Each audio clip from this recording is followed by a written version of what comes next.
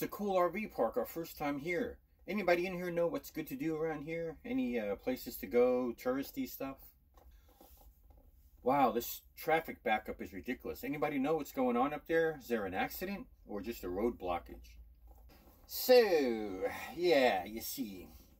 Yeah, we've been uh, heading down the road piece, you know, we've been checking out this lake over here and, and it's pretty groovy area to explore. We went kayaking, you know, and had a great time. It's really good hiking over here, you know. Hey, that's a cool rig you got. I was thinking about actually getting one of those. What year is it? So, ladies and gentlemen, thanks for tuning in. To me, the CB radio is the most unused, valuable communication tool there is for RVers.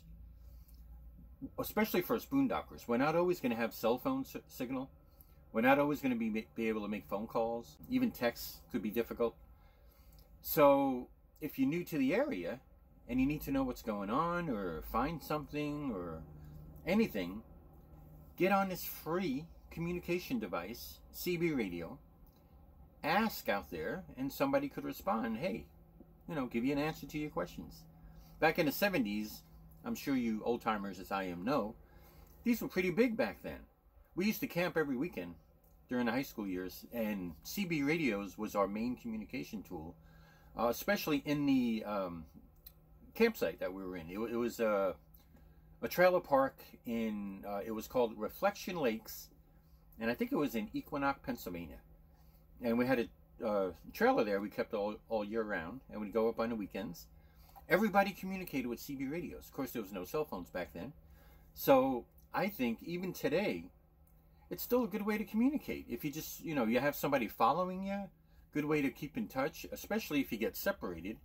You know, a lot of people use those little walkie-talkies, and that's cool up to a couple miles or several miles, but if you're far away from each other, CB radios go much further. So you can communicate.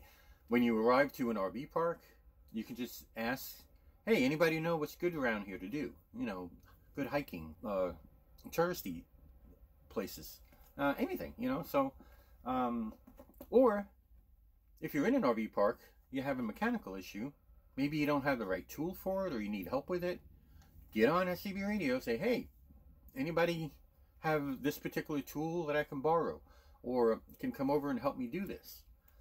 So if everybody has CB radios, it's a great way to communicate. Personally, I believe that all RVers should have one. All RV parks should use CBs as their main communication source, uh, especially if they want to send a message out to everybody in a park. If everybody has their CBs on, and the park could just announce, hey, we have this event going on tonight, or, you know, uh, come on over for breakfast in the clubhouse, uh, whatever. So, or got a dance going on tonight, anything. So anyway, um, I feel it's just a good way to communicate. When you're driving and you're switching lanes, there's a lot of truckers on the road. If they're polite, let you, you know, squeeze in front of them, whatever. You say, hey, thanks, good buddy, whatever, you know. So, uh, anyway, I just think it's a great way to communicate for non-cell phone signal. Uh, you know, when nothing else works, just anybody that is in earshot can hear and possibly help out. Uh, if you break down on the side of the road, you say, hey, anybody can help me change a tire, whatever. You know, anything. So that's my story, and I'm sticking to it. So to all you fellow RVers, um, enjoy your journeys, and uh, maybe we'll catch up with you someday.